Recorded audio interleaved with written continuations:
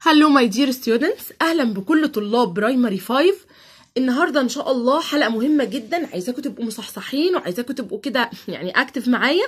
علشان النهارده إن شاء الله هنشرح grammar primary 5 كله. هنشرح grammar الصف الخامس الابتدائي كله ل Time for English المنهج الحكومي والترم الأول كله. تمام؟ صحصحوا معايا كده بقى وركزوا علشان نبدأ. بسم الله. بصوا يا ولاد أول حاجة هندخل على طول على طول كده. أول جرامر أخدناه أول درس جرامر أخدناه معانا في منهجنا السنة دي كان اسمه زمن الماضي البسيط the past simple tense. هو اسمه إيه يا ولاد؟ اسمه ماضي. من اسمه كده يبقى بيعبر عن إيه؟ بيعبر عن حاجة حصلت وانتهت في الماضي. طب هو الماضي ده هو الماضي ده يعني إمتى؟ هو الماضي ده يعني إيه؟ الماضي ده إمبارح ماضي الأسبوع اللي فات ماضي الشهر اللي فات ماضي السنة اللي فاتت ماضي تمام؟ كل ده ماضي. المهم إن الماضي حاجة حصلت وانتهت. حاجة حصلت وانتهت. ما بقتش موجودة. خلاص يا ولاد؟ طيب تعالوا نشوف. هو زمن الماضي ده له نوعين من الأفعال. كل زمن له نوع واحد من الأفعال. إلا زمن الماضي ده له نوعين. إيه هما النوعين دول؟ بصوا أفعال. Regular verbs أفعال منتظمة وأفعال irregular verbs غير منتظمة. هي إيه الفرق بين الأفعال المنتظمة والأفعال غير المنتظمة؟ تعالوا نشوف إيه الفرق. يلا بينا. الأفعال المنتظمة اسمها منتظمة ليه؟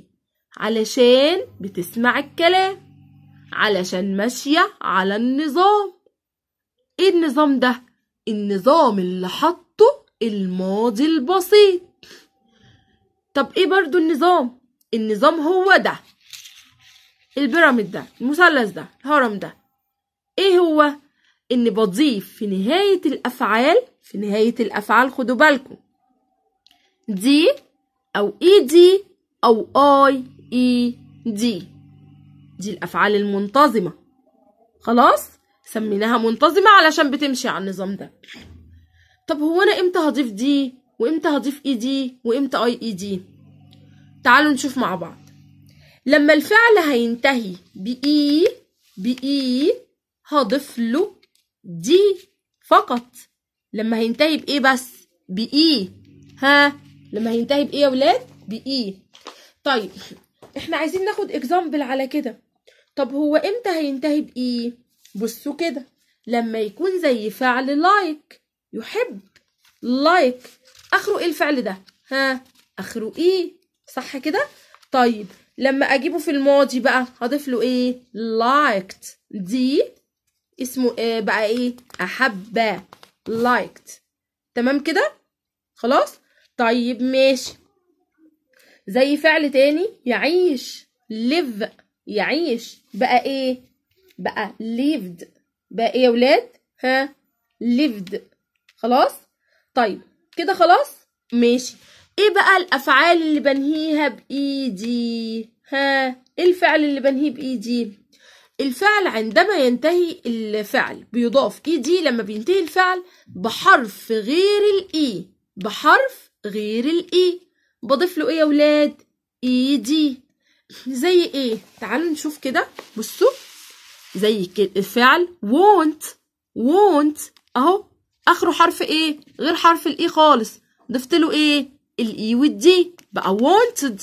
طيب تعالوا نشوف كده. لما مجمعة لكم الأفعال اللي هي الريجولار بصوا كده زي فعل إيه؟ ها plant. بقى planted. play. played. تمام؟ look for. looked for. wash. washed. clean. cleaned. أهو. كلهم أفعال آخرها إيه؟ حاجة غير ال e وال d صح كده؟ طيب. عندما ينتهي الفعل ب y ب y وقبلها حرف ساكن بحذف ال y وبضيف له ال i وال e وال d. إزاي؟ بصوا معايا. يعني لما يكون الفعل هنا study مثلا study معناها يذاكر أو يدرس study صح؟ study اهي الفعل ده انتهى بحرف إيه يا ولاد؟ حرف ال y. قبل ال y ده حرف إيه؟ ساكن صح؟ حرف ساكن يعني مش حرف متحرك. فاكرين الحروف المتحركة ولا لأ؟ ها الحروف المتحركة الاو والاي والاي والاي واليو صح كده؟ الخمس حروف.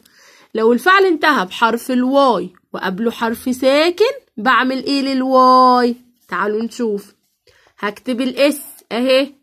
وال t أهي وال u أهي وال d أهي. ال u ال y. لا استني يا y. أنا هكتبك i. وهضيف بعدك ال e وال d. يبقى أنا ضفت مين كده للفعل؟ ال i وال e وال d. ماشي يا ولاد؟ studied ذاكر أو درس. خلاص؟ يبقى دي الأفعال إيه؟ المنتظمة الأفعال ال regular خلاص؟ عرفنا هي ليه منتظمة؟ آه علشان ماشية على إيه؟ على النظام ده. يا إما بضيف للفعل d يا ed يا ied. باختصار كده. خلاص. آه المرة دي باختصار عشان أنا هشرح المنهج كله وفي حلقة كاملة عن زمن الماضي البسيط. شوفوها هي بالتفصيل بقى. طب تعالوا نشوف النوع التاني من الأفعال ال irregular verbs الأفعال غير المنتظمة. ليه اسمها غير منتظمة؟ علشان مش ماشية على النظام ده علشان ما بيتحطش في نهايات الأفعال فيها ولا دي ولا اي دي ولا اي اي دي طيب أمال بيتعمل فيها إيه؟ هي بتتحفظ زي ما هي. هي بيتغير فيها حروف بيتغير شكلها تماما والحل فيها إنها بتتحفظ زي ما هي. تمام؟ آه في فيديو برضو عن الأفعال الشاذة كلها. حاولت إن أنا أجمع لكم أربط لكم ما بينهم كده. شوفوه. بصوا يا ولاد ده الفعل في زمن المضارع في التصريف الأول في المصدر يعني والفعل ده في الماضي. تعالوا نشوف اتغير إزاي. يلا نشوف examples كده الأفعال غير منتظمة. drink معناها يشرب. طب وال past منها؟ الماضي منها؟ drank drank بصوا هنلاقي حروف اتغيرت. يعني هنا ال i اتغير بقى ال a ملهاش قاعدة معينة. eat يأكل. بقى ate أكل. طيب win يفوز. won فاز. طيب جو يذهب. went ذهب. buy يشتري bought اشترى. take يأخذ. took أخذ. do يفعل. did فعل. see يرى. saw رأى. have يملك أو يتناول. لو جت قبل الوجبات. had had كان يمتلك. كان يتناول أو تناول. طيب. uh, think. thought. thought. ها مفكركوش بحاجة الفعل ده؟ بصوا أهو زي إيه؟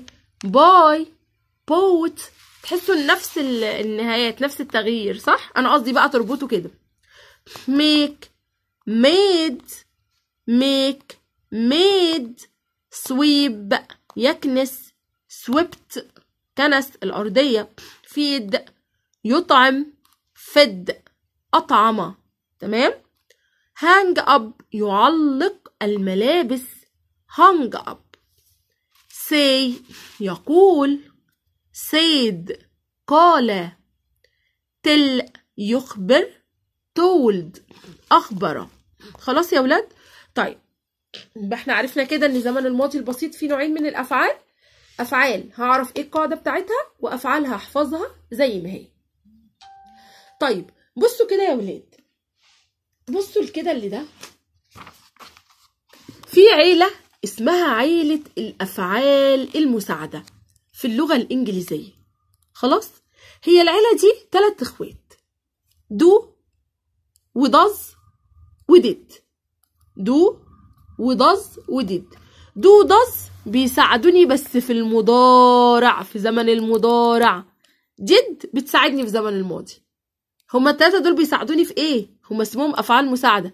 بيساعدوني في السؤال وفي الجملة المنفية. بيساعدوني بيجوا معايا وأنا بكون كده السؤال وبكون الجملة المنفية. بس ديد بقى هي اللي في زمن الماضي. فعلشان كده هي اللي هنقولها النهاردة. علشان إحنا أصلا بنتكلم على زمن الماضي. did بتلعب دور رئيسي دور مهم جدا جدا بلاقيها على طول على طول في زمن الماضي. خلاص؟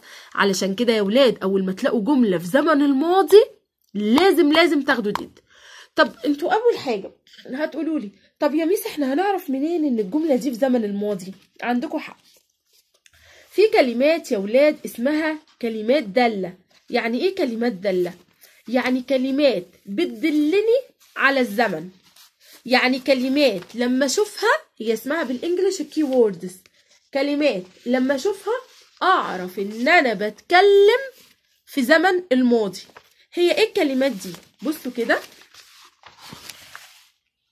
بصوا الكلمة دي. ها اقروا الكلمة دي كده. ها. yesterday yesterday أمس امبارح لما أشوف الكلمة ديت يا ولاد أعرف على طول إن الجملة دي في زمن إيه؟ الماضي. خلاص؟ كلمة اسمها إيه بقى؟ yesterday. وما أشوف كمان يا ولاد كلمة last last معناها الماضي. Last friday الجمعة اللي فاتت. طيب لو قلت last week الأسبوع اللي فات. Last week. ماشي يا ولاد؟ يبقى كلمة last last وكلمة yesterday last و yesterday. طبعا في كلمات تانية بس يعني دول المقررين عليكم في منهج سنة تانية. الكلمات دي يا ولاد لما أشوفها أعرف إن الجملة دي في زمن الماضي. طب نيجي بقى مين اللي هتلعب دور رئيسي دور أساسي؟ أول ما أشوف الكلمات ديت وأعرف إن الجملة دي في الماضي هي ديد. مين؟ ديد. ديد دي فعل مساعد. من الأفعال المساعدة. ليه سميتها أفعال مساعدة؟ علشان بتساعدني في تكوين السؤال في زمن الماضي. وأما ببدأ بيها السؤال بيكون معناها هل لما أبدأ بيها السؤال بيكون معناها هل. بصوا كده.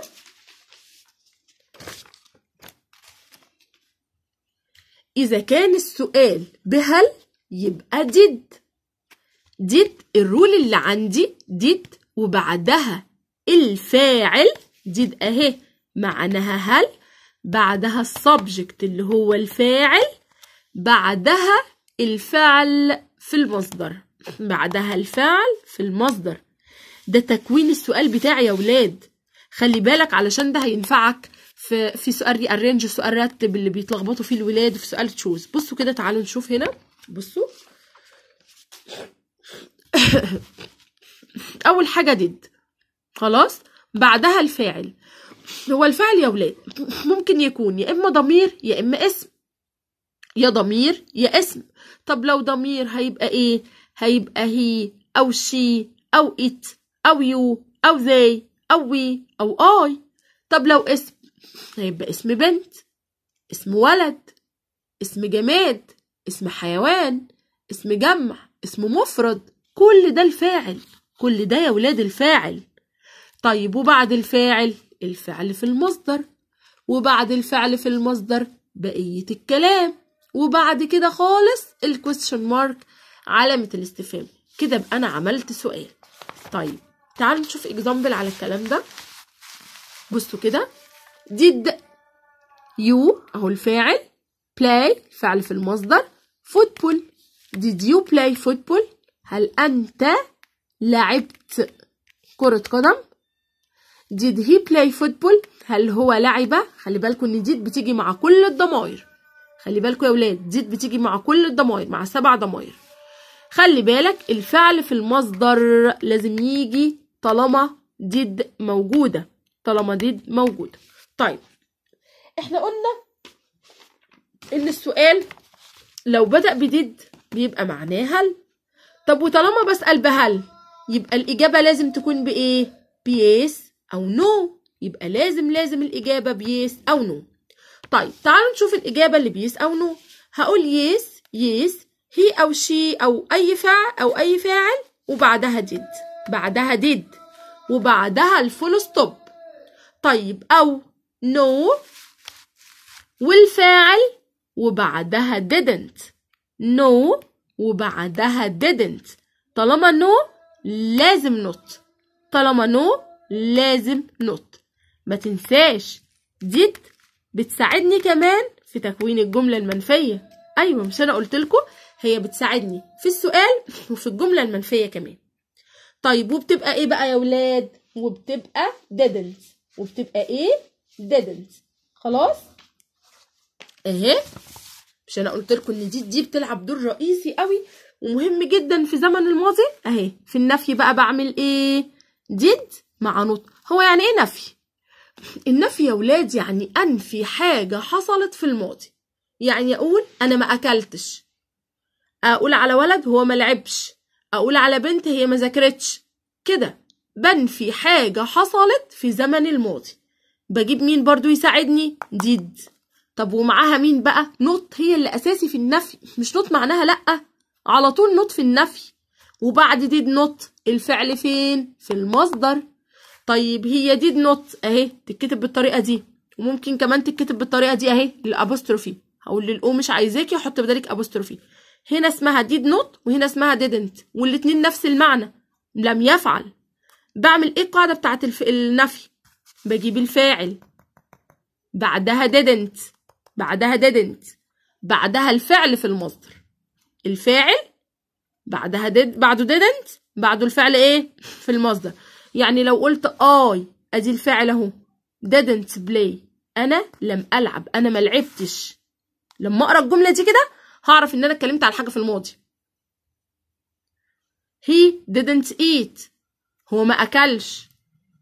They didn't sing. هما ما غنوش. تمام؟ طيب. بصوا.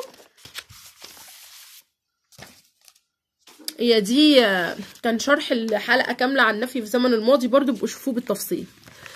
المهم إن بعد didn't بيجي بعدها الفعل فين يا ولاد؟ في المصدر. بدون أي إيه؟ إضافات. He didn't play football. خلاص؟ طيب. إزاي بقى أكون سؤال في زمن الماضي؟ ها أعمل سؤال إزاي في زمن الماضي؟ وخلي بالك كويس جدا من ال rule دي. علشان في سؤال الترتيب سؤال rearrange وسؤال choose اللي هو الاختيار من متعدد في ولاد بيتلخبطوا جدا فأنت لازم يبقى عندك rule وتطبق عليها. يعني إيه؟ يعني أنت دي أوضح. آه تبقى عارف rule كده قدامك تمشي عليها وتطبق عليها. بس ال rule دي تبقى في دماغك. لأن طبعا الورق مش هيبقى معاك في الامتحان. لازم تذاكر وتفهمه كويس. ركز بقى وافهم معايا. بص أول حاجة طالما قلت تكوين السؤال دي كلها أدوات استفهام. بتبقى في أول السؤال صح كده؟ طيب هي أدوات الاستفهام دي زي إيه؟ what معناها إيه؟ ما أو ماذا؟ بسأل بيها عن الأشياء.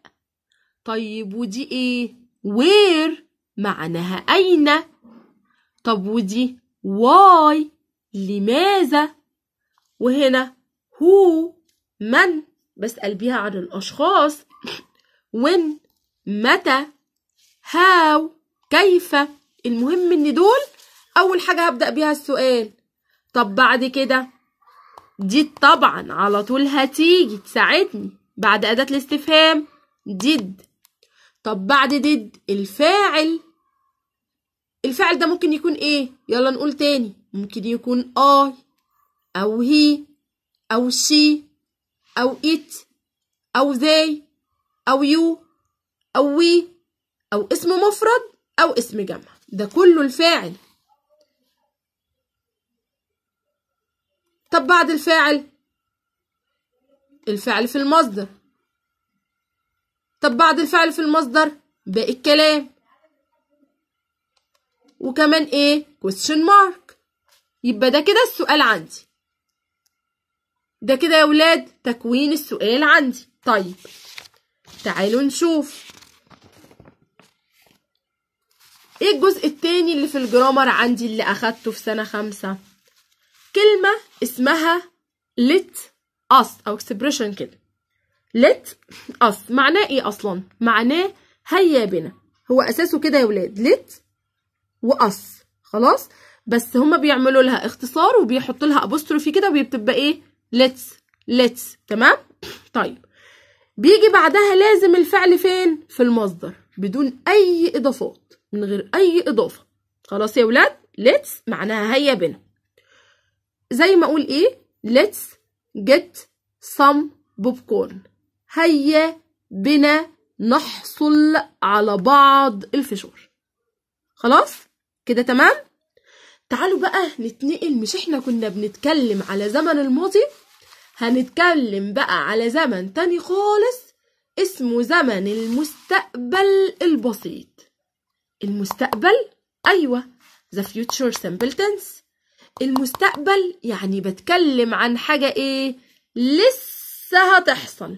حاجة لسه هتحصل. هو المستقبل ده يعني إيه يا ولاد يعني بكرة يعني الأسبوع اللي جاي يعني الشهر اللي جاي يعني السنة اللي جاية. حاجة لسه هتحصل. صح كده؟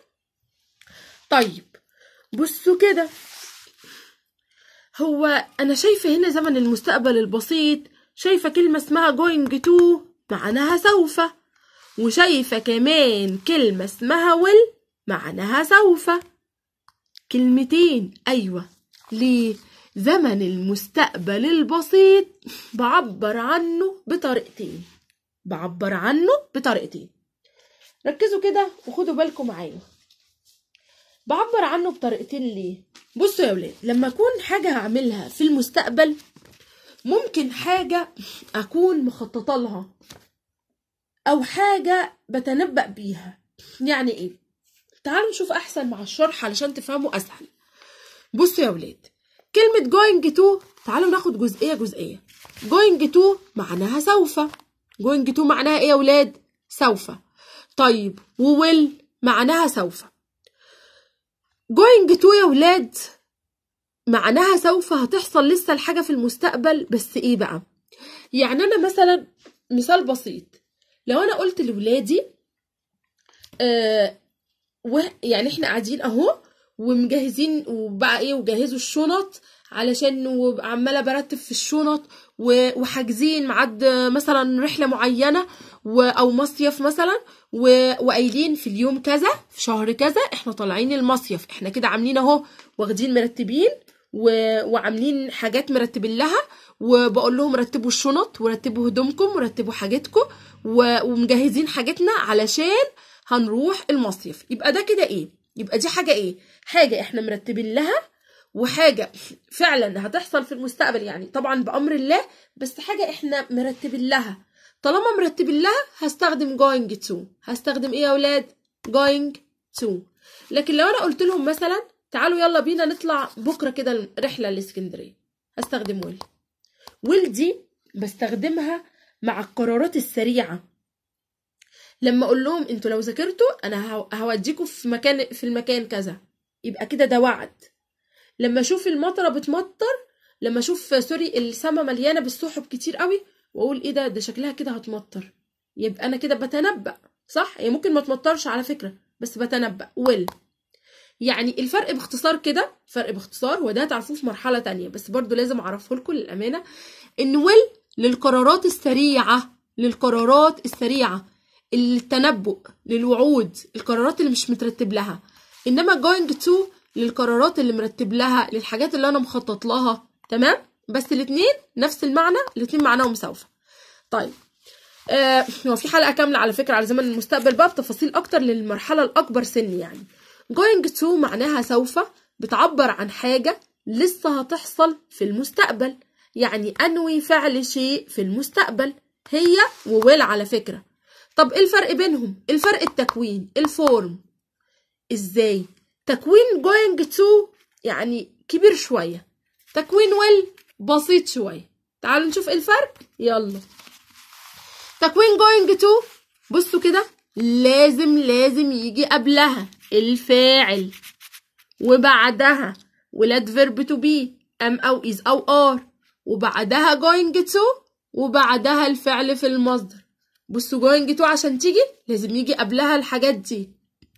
طب will لا will بسيطة خالص. لازم يجي قبلها الفاعل بس وبعدها الفعل في المصدر. الفاعل وبعدها الفعل في المصدر. واللي بتيجي مع كل الضمائر. واللي بتيجي مع كل الضمائر.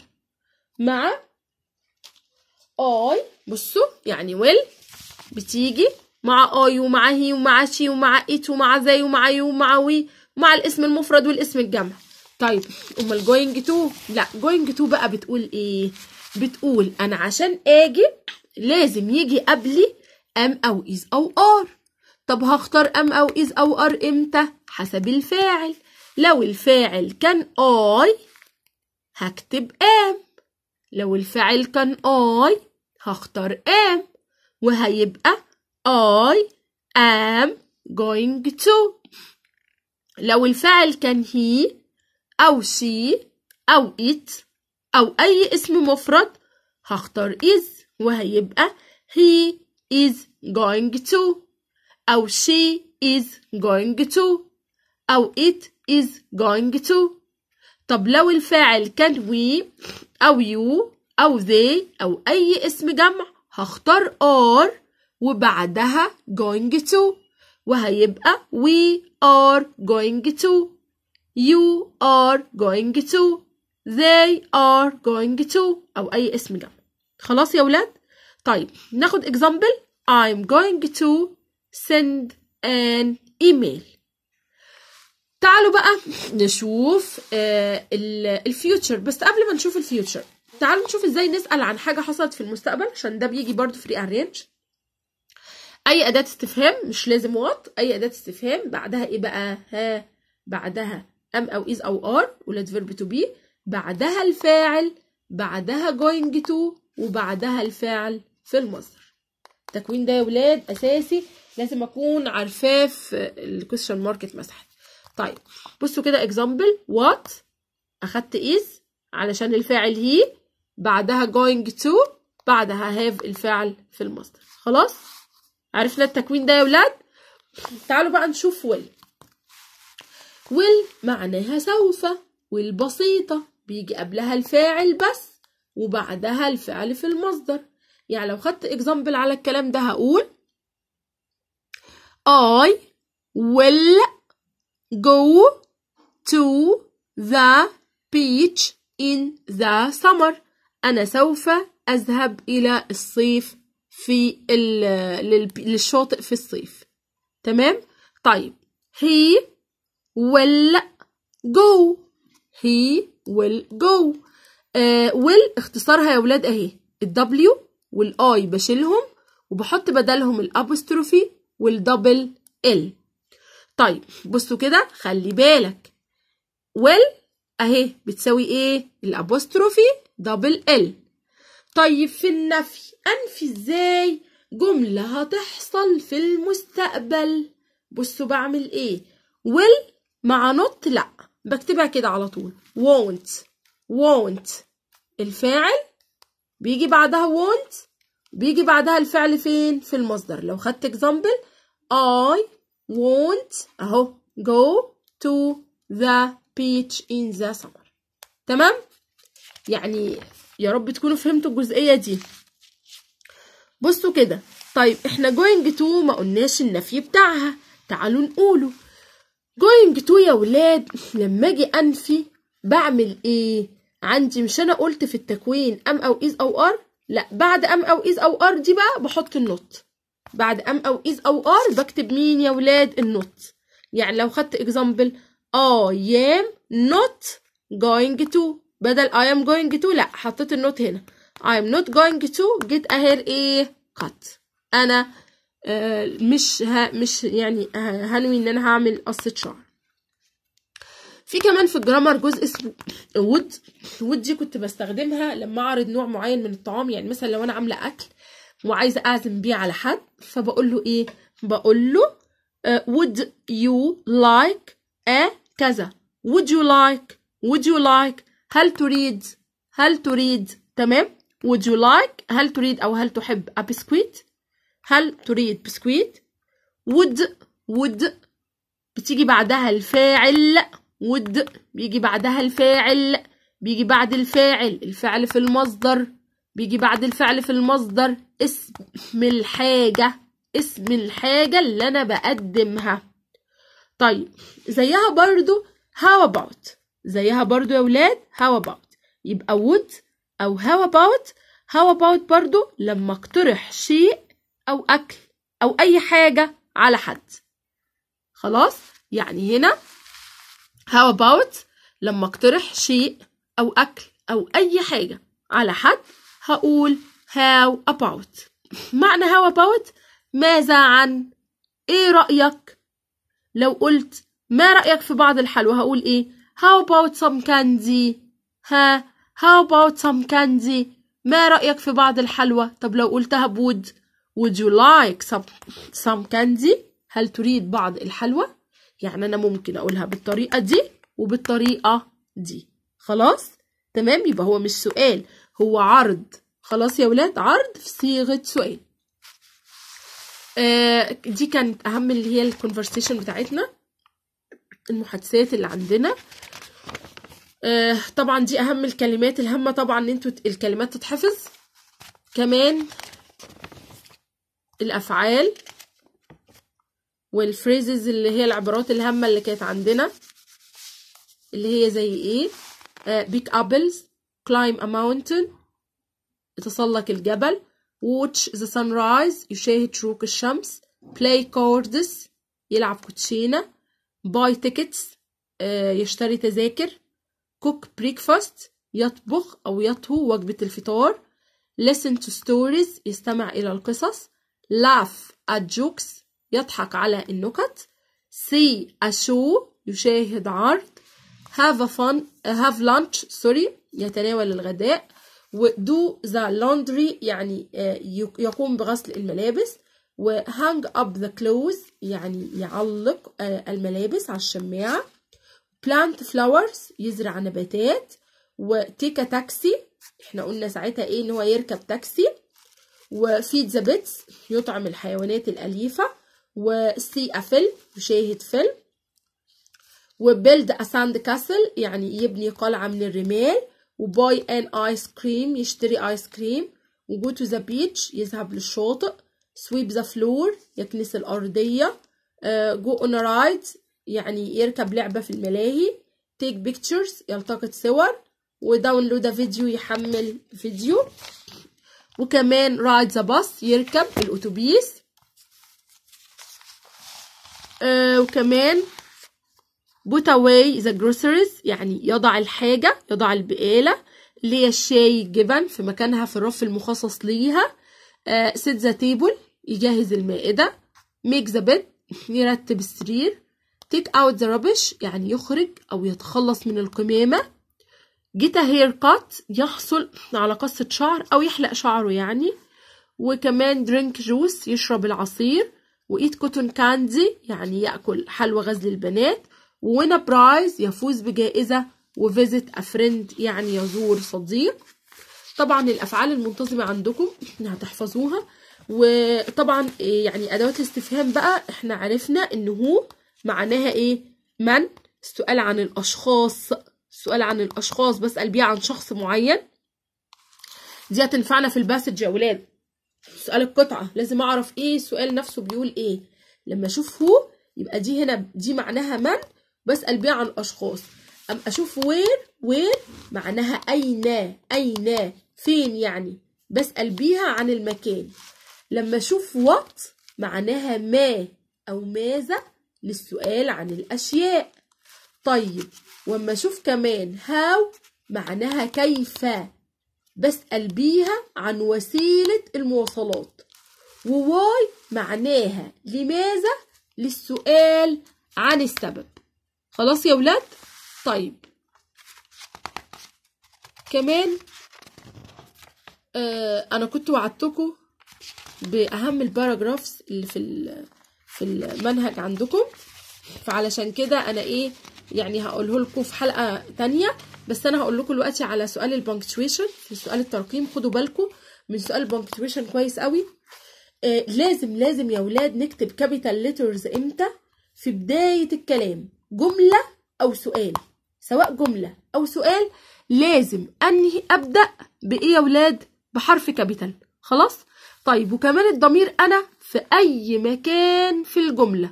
الضمير أنا يا ولاد في أي مكان في الجملة. I I تتكتب على طول في أي مكان في الجملة. I في أول الجملة لازم تتكتب capital. في وسط الجملة لازم تتكتب capital. خلاص؟ أسماء المدن يا ولاد. أسماء المدن والبلاد. الأنهار مش عليكم بس أسماء المدن والبلاد. لازم أول حرف فيها يبقى capital. أول حرف في أسماء الأشخاص. أول حرف لازم يبقى capital سواء اسم ولد اسم بنت. اللغات أول حرف فيها زي ال English اي Arabic إيه تمام؟ أول حرف. ال comma يا ولاد بتتكتب على السطر يعني بتبقى اسمها الفاصله السفلى. ليه بقى؟ عشان هي بتتكتب إيه؟ على السطر. يعني بتيجي بعد إيه ال comma بعد yes أو no. يعني هنا no أهي بحط بعدها إيه يا ولاد؟ comma أهي شايفين؟ و yes بحط بعديها إيه؟ comma. طب بصوا كده على ال apostrophe بقى هي اسمها الفصلة العليا. ليه؟ عشان بكتبها فوق السطر. طبعا حلينا منها كتير اهي يبقى شكلها كده. تمام؟ طيب بصوا لكن ال comma كنت كاتباها فين؟ على السطر نفسه. طيب هنا بتوضع في الاختصارات. زي مثلا I am اهي بصوا بتبقى إيه؟ بدل الايه تبقى ال apostrophe كده. شايفين اللي he is اهي وال she is وال it's اهي شايفين we are they are you are. آخر حاجة بقى النقطة وال question mark النقطة اللي هي ال full stop بنضع نقطة في نهاية الجملة. وزي ما عودتكم بنحطها في circle كده صغيرة علشان المصحح يشوفها. وعلامة استفهام اللي هي question mark دي في نهاية السؤال بنضع إيه يا ولاد؟ question mark تمام؟ آه دي أهم النقاط في ال grammar أتمنى إن أنتوا تكونوا فهمتوه وتركزوا فيه وإن شاء الله استنوني في حلقة بقى بإذن الله الحلقة اللي جاية. أهم الباراجرافز اللي عليكم السنة دي هقول لكم عليها وهناخدها مع بعض بالصور. أشوفكم على خير.